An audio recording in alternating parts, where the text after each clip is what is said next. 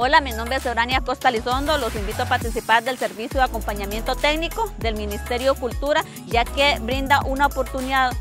eh, a los lugares, a las personas, a poder mostrar la cultura que es muy rica, no solamente en un lugar, sino que cada lugar tiene su propia riqueza cultural y es una forma de mostrar lo que somos nosotros los costarricenses y las diferentes culturas.